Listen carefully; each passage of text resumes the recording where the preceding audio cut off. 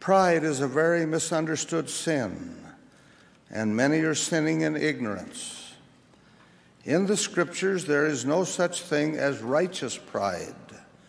It is always considered a sin. Therefore, no matter how the world uses the term, we must understand how God uses the term so we can understand the language of Holy Writ and profit thereby.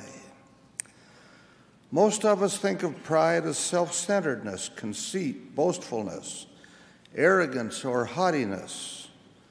All of these are elements of the sin, but the heart or core is still missing.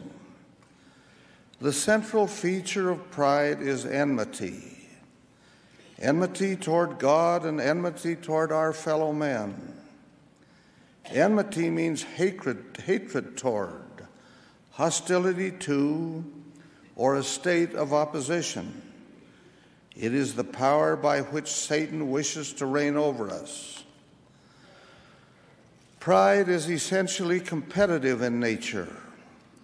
We pit our will against God's. When we direct our pride toward God, it is in the spirit of my will and not thine be done. As Paul said, they seek their own, not the things which are Jesus Christ's. Our will in competition to God's will allows desires, appetites, and passions to go unbridled. The proud cannot accept the authority of God giving direction to their lives.